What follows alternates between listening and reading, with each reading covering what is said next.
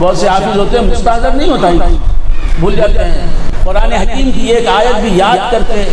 भूल जाना गुनाह कबीरा है जब तक वो भूला रहेगा वो उस गुनाह कबीरा में मुसलसल मुबतला रहेगा किसी को सत्तर आयतें याद नहीं है भूल गया है कोई हिफ्स करके हज़ार आयतें भूल गया है तो हज़ार गुनाह कबीरा मुसलसल करता रहा होगा वो करने वाला साबित होगा जब तक कि वो उन आयतों को फिर से याद नहीं कर लेगा